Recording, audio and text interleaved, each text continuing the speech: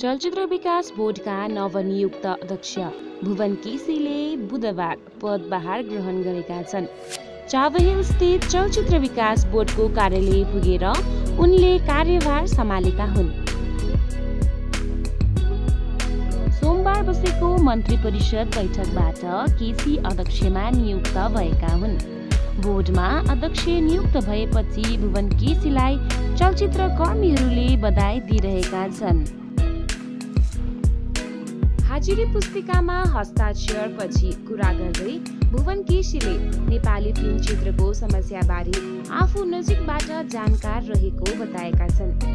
चाँडै चलचित्र कर्मीलाई बोलाएर सुझाव सङ्कलन गर्ने र सोही अनुसार कार्यान्वयनतर्फ अघि बढ्ने आफ्नो योजना रहेको भुवन केसीले बताएका छन्। सो अवसरमा भुवन केसीलाई कर्मचारी र अन्य पदाधिकारीहरूले स्वागत पनि गरेका छन्।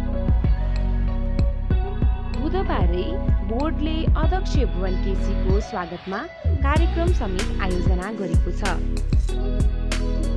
मन्त्री परिषदको बैठकबाट अध्यक्षमा नियुक्त भएका भुवन केसीलाई हार्दिक बधाई तथा सफल कार्यकालको शुभकामना।